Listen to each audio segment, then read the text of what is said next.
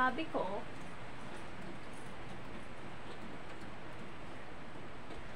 akala ko di ako masasaktan.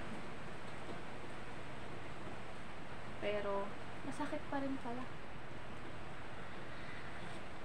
Mainit.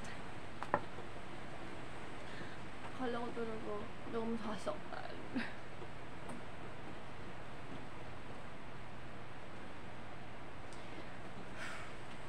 Hindi na talaga makikipag-talking stage.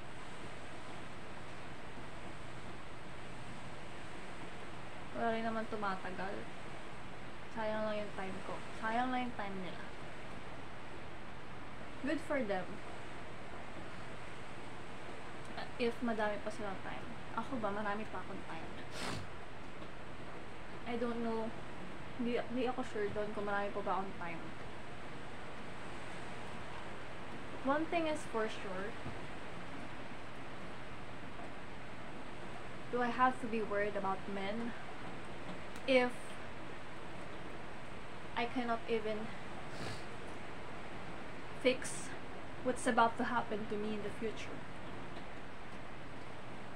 I think I need to like I need to choose over my career and not na lang.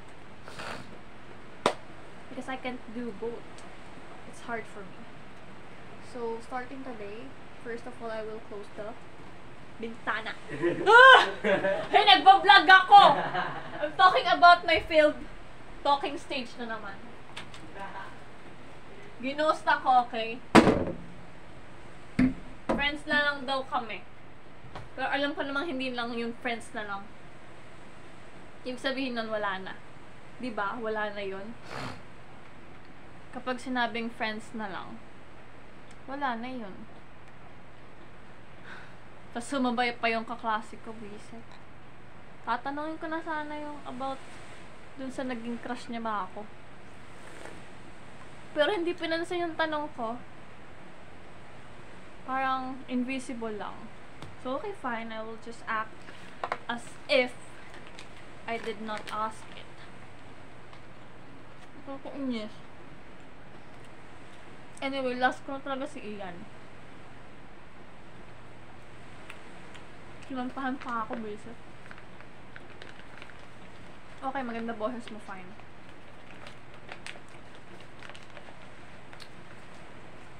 Pero hindi ko alam yung tsura mo.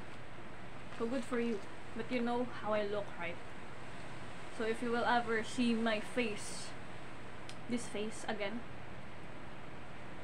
I hope you remember how you ikaw tan tinan mo to. Tinan mo yung pimple ko. Ikaw yan. Ikaw yan. Tapos hindi mo man lang ako